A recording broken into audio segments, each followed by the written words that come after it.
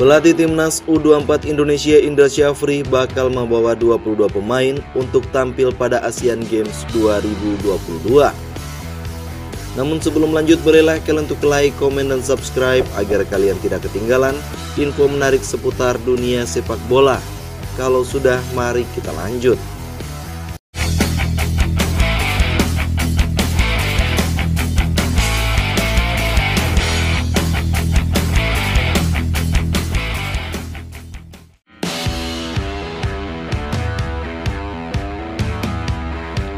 Timnas Indonesia di Asian Games 2023 yang akan dimulai pada 19 September 2023 mendatang.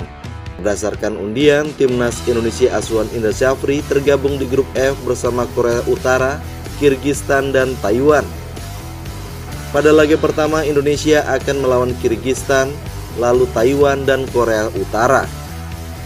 Asian Games 2023 untuk cabang olahraga sepak bola akan berlangsung mulai 19 September hingga 8 Oktober di Hangzhou, Tiongkok.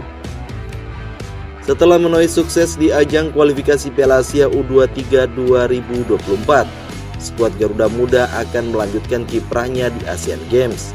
Namun begitu, ada keputusan mengejutkan datang dari pelatih timnas U24 Indah Syafri yang memutuskan untuk tidak memanggil sejumlah pemain muda berbakat yang sebelumnya lolos dalam kualifikasi Piala Asia U23 ke dalam skuad timnas U24 untuk Asian Games Hangzhou 2023.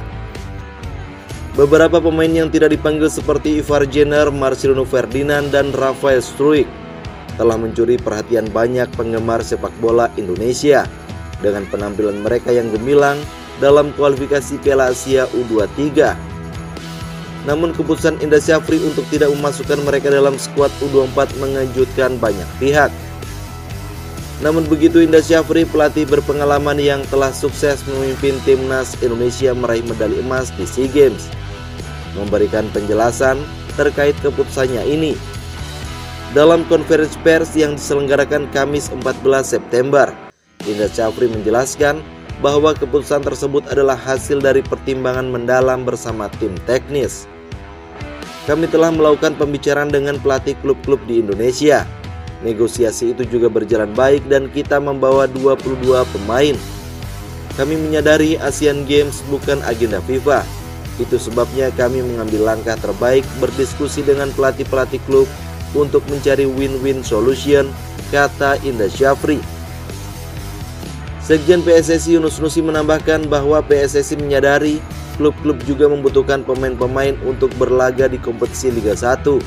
Apalagi Liga 1 kini sedang berlangsung seru. Keputusan ini mendapatkan tanggapan dari penggemar sepak bola di seluruh Indonesia. Beberapa mendukung langkah Isafri untuk memfokuskan pengembangan pemain. Sementara yang lain merasa kecewa karena timnas U23 yang sukses lolos kualifikasi Piala Asia tidak akan berlaga di Asian Games Hangzhou Pemerintah dan PSSI juga memberikan pernyataan resmi yang mendukung keputusan pelatih Indra Syafri. Mereka menekankan pentingnya pengembangan pemain muda dan berkomitmen untuk terus mendukung pengembangan sepak bola di Indonesia. Sementara itu timnas U24 akan segera memulai persiapannya untuk Asian Games Hangzhou tanpa beberapa pemain muda berbakat yang sebelumnya diharapkan akan menjadi andalan tim. Kami akan terus memberikan pembaharuan mengenai perkembangan situasi ini seiring berjalannya waktu. Tetap pantau untuk berita lebih lanjut. Dan bagaimana tanggapan kalian?